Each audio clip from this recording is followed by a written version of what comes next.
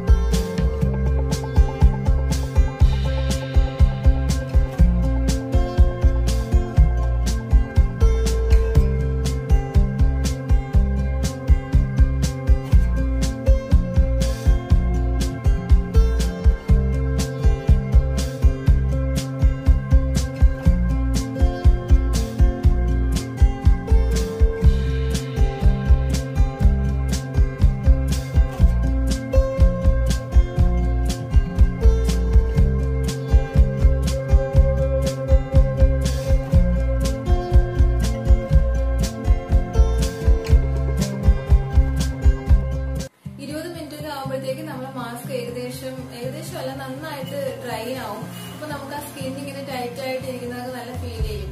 അപ്പൊ ഞാനത് വാഷ് ചെയ്തിട്ടും എനിക്ക് ആ ഒരു ടൈറ്റ്നെസ് നന്നായിട്ട് അനുഭവപ്പെടുന്നുണ്ട്. നല്ല റിസൾട്ട് കിട്ടുന്നതിന് ആഴ്ചയിൽ മൂന്ന് പ്രാവശ്യമെങ്കിലും ഈ മാസ്ക് നിങ്ങൾ അപ്ലൈ ചെയ്യണം. നിങ്ങൾക്ക് എല്ലാവർക്കും എന്റെ വീഡിയോ ഇഷ്ടമായെന്ന് കരുതുന്നു. ഇഷ്ടമായെങ്കിൽ please like share subscribe and support me thank for watching അടുത്തൊരു വീഡിയോയുമായി വരുന്നത്